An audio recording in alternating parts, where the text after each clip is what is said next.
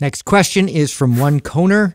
Are spinal flexion exercises like crunches dangerous for your back? Yeah, I hate. I it annoys the shit out of me when I hear people, especially fitness professionals, and even worse, doctors and specialists, who say things like, "This exercise is dangerous. Don't do it." Right. And the latest one that annoys the shit out of me is this whole like, "Don't ever do exercises that flex the spine." Huh? Yeah. Does your spine flex and extend?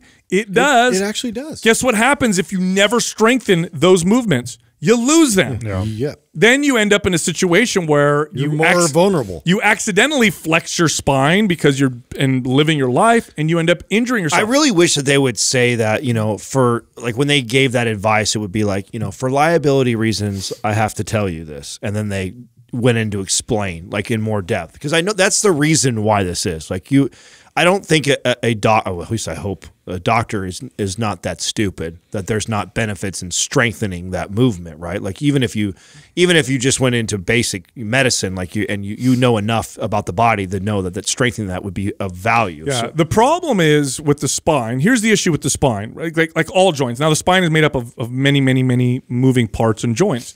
And the problem is when you allow it to move to its end range of motion, meaning the joint can no longer flex. It can no longer flex. What and what's stopping it is its own the joint itself.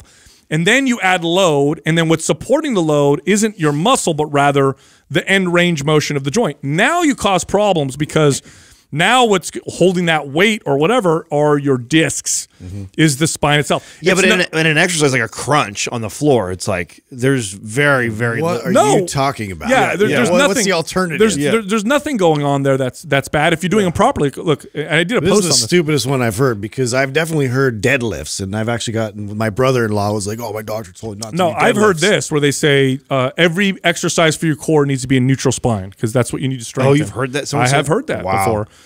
uh, which is insane. So, to we, me. so we move robotically. I mean, I understand like a, a full setup maybe for somebody who has just came out of like back surgery or some issue and they're Oh, extremely there's there's exceptions, of course. If you have like a fused spine, you got to be Right. careful with how you move. or right. whatever. But I mean, even that person though, uh, a crunch. I mean, your your your back is supported by the ground, and when you crunch, you're only rolling the spine up a tiny bit. So How do you get up off the ground? How do you get up out of bed? any ex any movement that you can do with full control, full stability, good strength, good mobility is safe. Any movement that is outside of that is dangerous, and it doesn't matter what the movement is. It doesn't- matter if we're comparing a dumbbell curl to an Olympic clean, two very different exercises in terms of, of technique.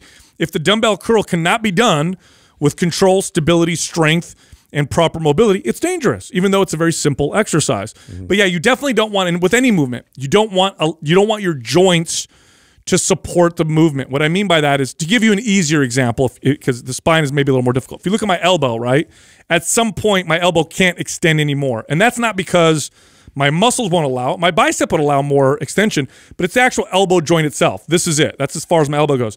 Now, if I held a heavy weight in this position and I allowed my elbow to hold it rather than tensing my bicep and holding it with my So muscle, you're relaxing. yeah, so my joint is holding it. That's going to cause joint damage. If you do that with your spine, the same thing. So even rounding your back is okay so long as it's not the spine itself that's supporting you. It's the muscles around, That's and you're why not. we your, have muscles. that's right. That's exactly why we have muscles. Yeah. So